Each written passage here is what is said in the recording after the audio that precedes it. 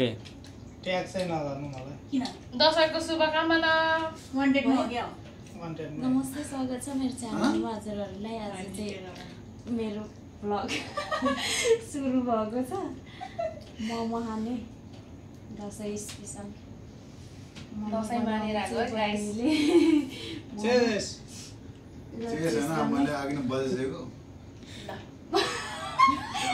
यो चाहिँ चाहिँ कलेज हो।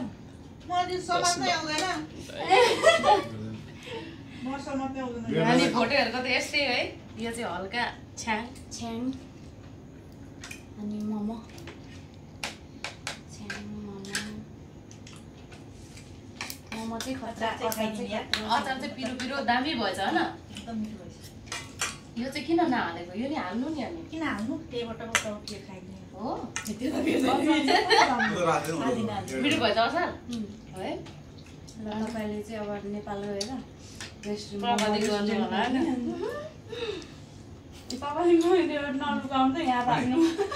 अहिले यतिको बनाएर योलाई चाहिँ फ्राईमा बनाउनु के?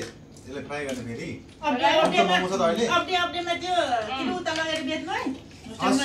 त अस्सी रुपियाँ छ अहिले।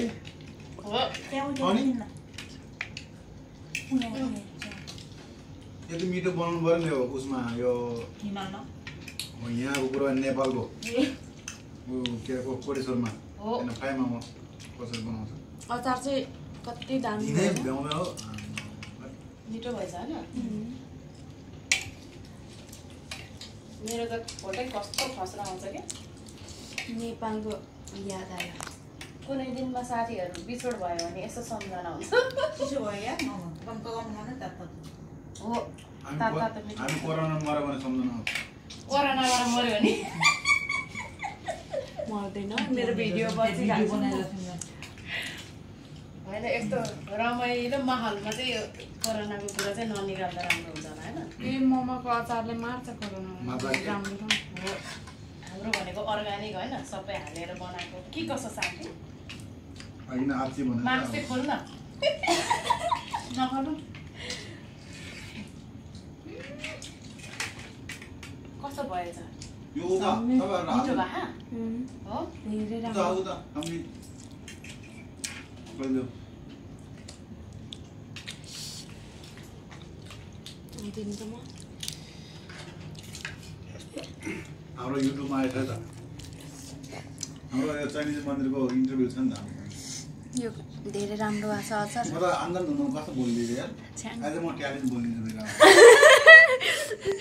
बहिनीले बनाउनु भएको। अँ, मेरो चाहिँ कता घर बनेर बोले पुरा अर्कै भाइ भाइको इन्टरभ्यू पहिला आएको थियो बहिनी। खाइसक्दिनमा फर्स्ट हुनुभएछ। अब पुरस्कार पाउनुहुन्छ।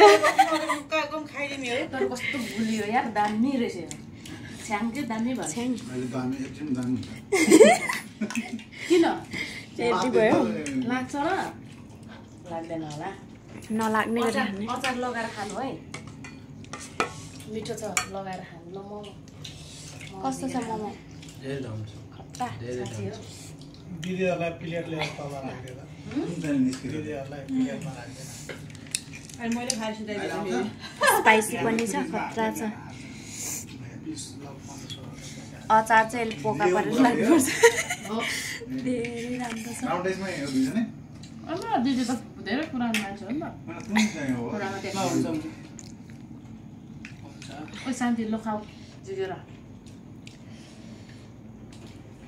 यति भएपछि पुगिहाल्छ नि हौ दिदीहरूलाई त। त्यति धेरै फेरि किन हालेको ल thank you so much for watching आजको मेरो ब्लग चाहिँ यति नै ल है ल मोमो हालेर खानु है यो चाहिँ खतरा छ यसको रेसिपी चाहिँ पछि पछि ल थ्याङ्क यू